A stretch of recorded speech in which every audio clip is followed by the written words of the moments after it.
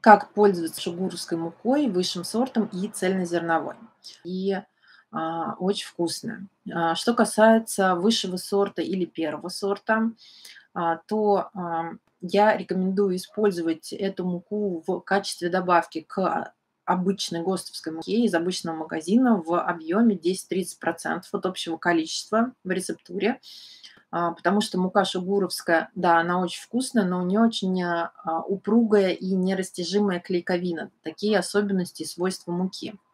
Если хочется выпекать хлеб стопроцентно на шугуровской муке или сделать а, максимум да, возможный этой шугуровской муки, то я рекомендую ставить на ней опару. Причем первый сорт я люблю больше, чем высший сорт. Разница небольшая, но такие у меня пристрастия.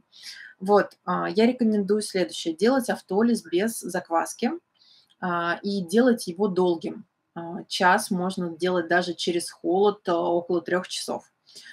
Так клейковина расслабится и после внесения да, будет легче получить объем.